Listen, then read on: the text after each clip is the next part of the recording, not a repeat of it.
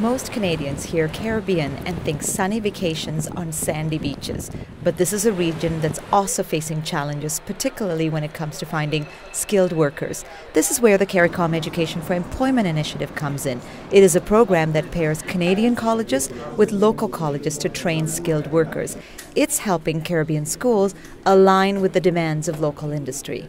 There's a bit of a disconnect right now. We have it in Canada too, but between where the jobs are and where the training is. And so one of the things that we're trying to bring to the region is that Canadian model of demand-driven training and of education institutions responding to the needs of employers.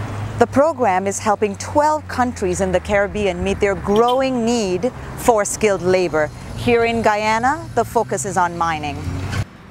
Guyana based company Macorp says it needs the help with training. It supplies heavy duty equipment to mining operations throughout Guyana. The company is currently training technicians on its own, but would rather focus on business, not education. We're, we're a company, we're not, we're not a school. So we took a task to do it ourselves because we could not find another way to, to go about it. But we understand that we cannot do this alone. And we foresee um, high demand in, in um, the need for technicians. The automotive industry in Guyana is also benefiting from the CARICOM Education for Employment program.